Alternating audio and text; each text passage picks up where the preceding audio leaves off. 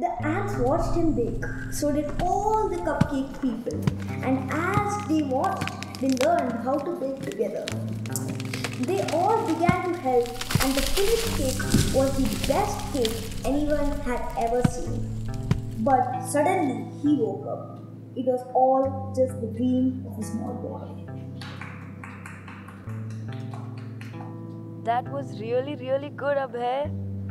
You're so talented. If you keep writing like this, you'll surely become a great writer someday. Do you want to be a writer when you grow up? No, I want to make movies. We showed Rekha Mami our last movie over the weekend. She and Amar Mama were so excited to see it. Oh, really? They, they saw it? Oh, what did they say? They didn't really understand it, but they thought it was very interesting. Yeah. Yeah, I know it's not that great. Um, I'm trying to make the next one much more relatable now and even make the sound better. You know, like you would. But Dad and I watched it again once they left. We are so proud of you. When is the next one going to be ready? Can't really say, Ma. You know, you know, this stuff takes time. I'm just not happy with it. Well, we can't wait to see it. By the way, Dad got a new client who works in an ad agency. I'll send you her number. You should talk to her. Yeah, sure, definitely. Uh, I'll, I'll, I'll do that. You know, maybe once I'm done with this, I'll have something good to show her. Show what you've already done. Oh, there's someone at the door. I'll call you later. Okay? Oh, yeah, I, sh- I should be getting back to work anyway. Bye, Abhay. Love you, beta. Yeah, love you too, Ma. Bye.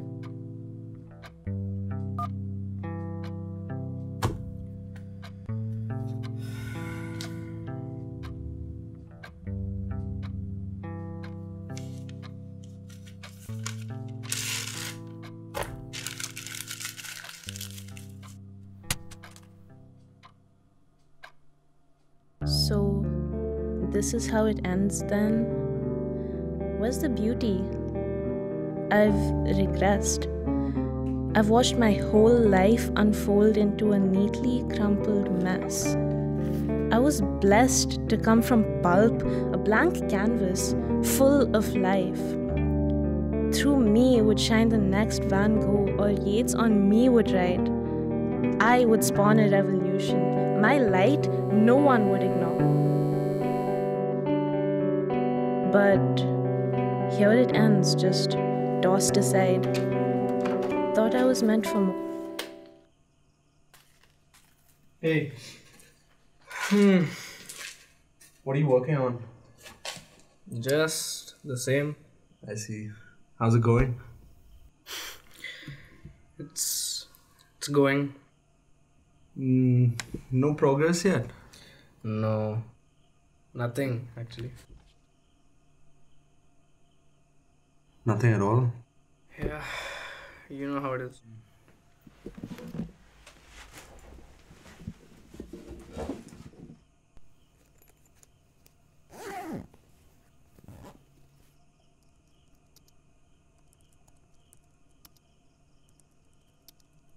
Hey, what are you working on? Um, just uh, my CV. You should get started on that too, by the way. Wait, you're done with your paper? It's a monograph. The impetus of China's actions in the East China Sea. Wait, let me get this straight. You wrote a book? It's a monograph. Wait. When did you write a book? It's no big deal, just over the summer and the last couple of months. That's like a third of the time I've spent trying to write this, and I'm not even finished yet. Where, where do you get all your material from? Or just interviews and declassified documents. I wish I could write like that, man. I just keep writing page after page and I get absolutely nowhere. Meanwhile, you're just. You're writing books and you're writing about things that are actually useful. Have you eaten anything yet? Rahul, did you. Did you always think you'd end up here? I mean, when you imagine your future, uh, did you do you imagine like you were gonna be writing books? Are you happy doing what you're doing? Let's go get some food, yeah? Sure. It's a monograph, by the way. A monograph.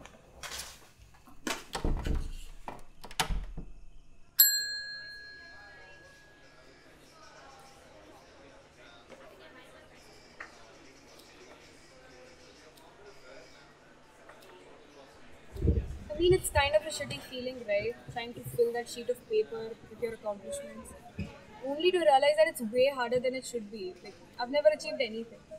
It's not really that big of a deal, you know. If anything, it's an ego trip remembering everything we've ever accomplished. We can finally brag about ourselves without having to be humble. I mean, it's just another thing you gotta do. It's an easy way for employers to talk to people. It's easy for you to say. You've written a book. It's a monograph. It's just that there's so much fucking weight attached to these things. You can't tell me a person's worth can be measured by what's on their resume, right? Yeah, that's true. I mean, I think people are a little more complex than that. You can't. You can measure people's contribution to something a little more intangible. In the end, we're all just reduced to sheets of paper anyway. Wow. You being a real downer today. Can't finish your CV. No, no, I'm done. It's just that it's completely blank. he just stuck on his screenplay. Ooh, writing a screenplay. What's it about? I'd rather just talk about it once I'm done with it. Come on, just tell us. Maybe we can help. Okay, so it's about this girl, and she's trying to get some work done, but she keeps procrastinating or avoiding her work because she's haunted by a jinn. What's a jinn? A genie. Yeah, before Disney even came out with it. Jinn is a mythical creature who puts you in a dreamlike state and feeds on your life. Right, exactly. Because I wanted to make a horror film. But I wanted to make a horror film about something that really terrifies me. Something that I think terrifies every single one of us. A horror movie where the antagonist is, is time itself. And, and in age. Growing old, dying, without having accomplished a single thing. Without having anyone even remember your name. Knowing that you'll be forgotten. Knowing that you've had absolutely no impact in the world that you've been. And at the same time, you're getting the life sucked out of you every single day. And you fail and fail and fail until you're just not capable of making anything. Until you die.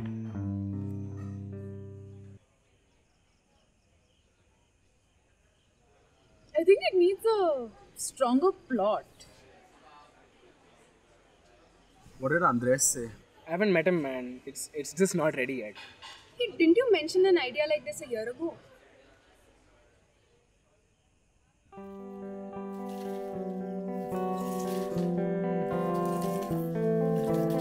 Well, maybe I overstepped, but I'm still above the ground. And there's a great deal I could do without being renowned. A degree that marks the moment that he made his parents proud.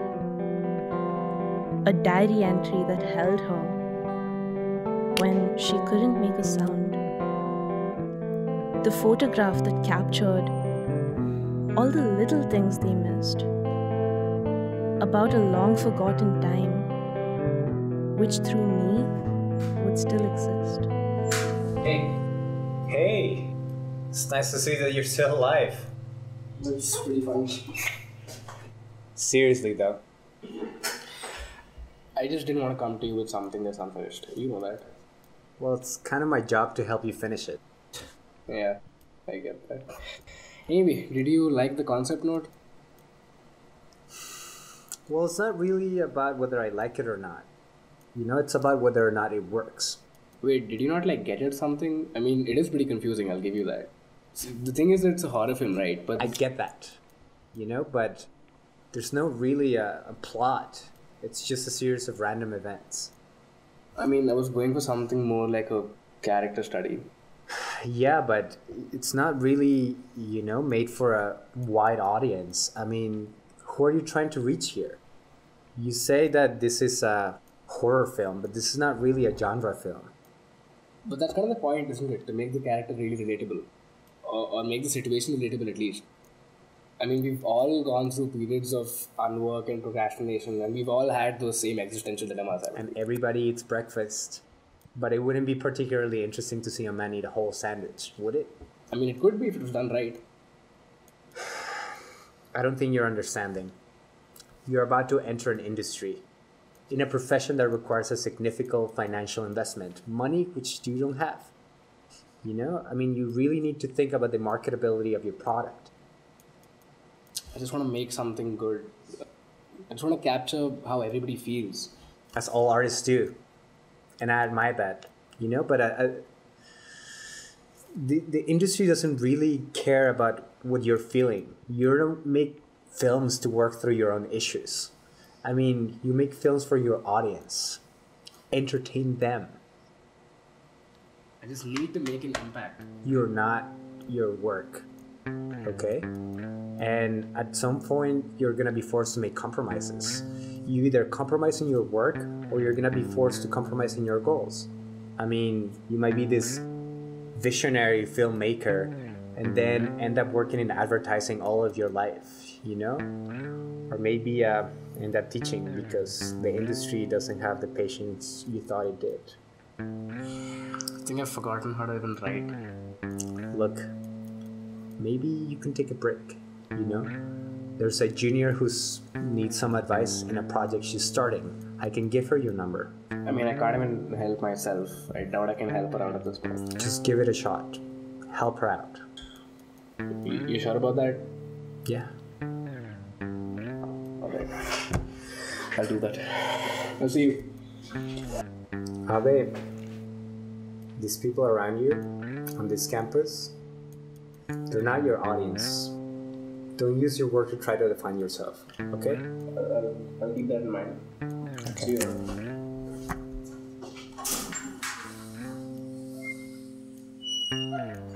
Hey, Bhagyashree, right?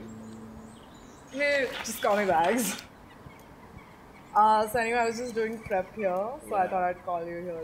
Yeah, yeah, no buddy. What are you working on? Oh, okay, so here it goes.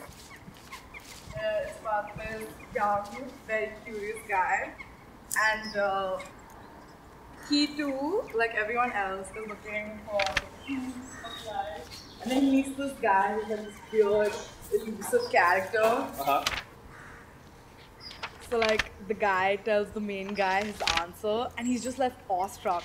And I was thinking like the main guy could have inquisitive friends who like want to know what happens, but he's just so speechless. Mhm. You know, something like that. Okay, but so what are you trying to say with your film? What do you mean? I mean, what part of the human experience or the human mind are you trying to explore? So like in the end, the characters just realize that they're in a film, and like I was thinking maybe they could have movie and TV references and cliches just play out after one another. Look, this is all interesting and stuff. I mean, it really is. Uh, but you need to dig a little deep, a lot more deeper. I mean, you need to start organizing your work and write till you know what you want to say. Something that only you can say because it's your perspective. I, I was just thinking maybe I could make something funny. Look, it just needs to be a lot more meaningful. I mean, you have to understand that when you have an audience's time and attention, you need to give them something meaningful. Can't it just be entertaining? It just needs a lot more substance to it. And look, I'll help you out if you want to with the craft of it and anything else you do. Mm, well, actually, I, I'm already working with a group of friends. I, so I just wanted to float it by someone. Oh, okay. So, Sure. so yeah, and I actually have a meeting with them soon. So, yeah. Thank you. I'll see you. Awesome. No, no worries. You have my number, right? I can help you out if you want. Yeah.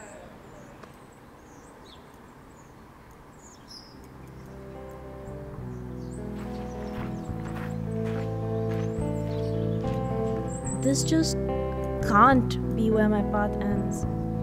I just know I could be more. If they simply understood my worth, then I'd change lives for sure.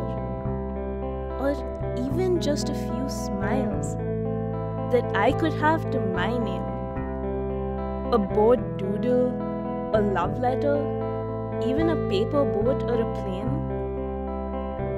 An origami rose, that would make a person's day. Flyer, newspaper, something, anything. I can't just be thrown away.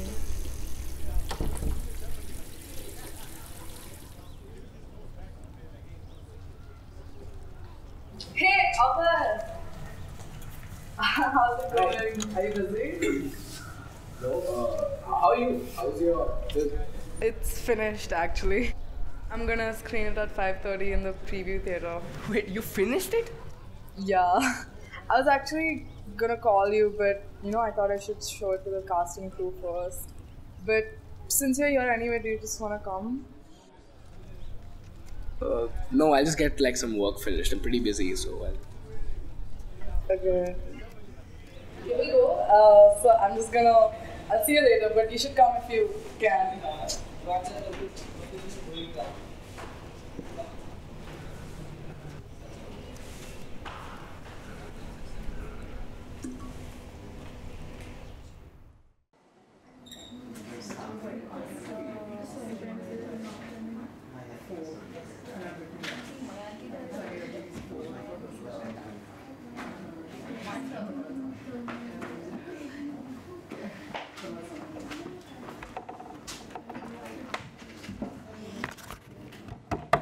Guys. Hi, guys. So, thank you so much for coming. And um, now, this is just a rough cut. I've not done the final thing yet. Um, still working on it. I'm gonna make it better. But once again, I just wanted to thank all of you for your help out here because I could not have done it without you. And um, I mean, it's not like Citizen Kane or anything, but I had a lot of fun making this film, and I hope you did too, because that's why we should make films to express, to distract, to entertain. And in the process, if you make a person smile or laugh or cry or whatever, you've done your job you've made something. You should be proud of yourself. You created something. And I hope that we can all create more together. Okay, I'm getting too sappy. Let's just start the thing.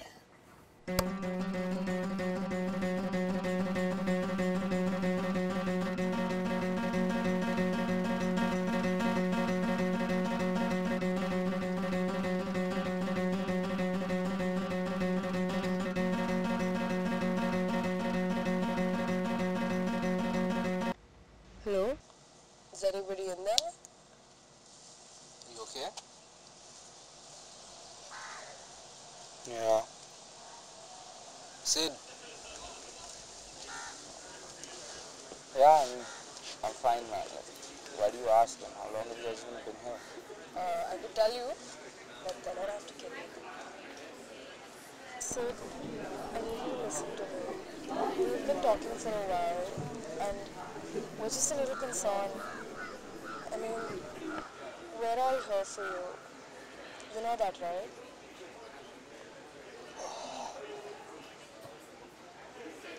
But It's in my head. How do you ignore that?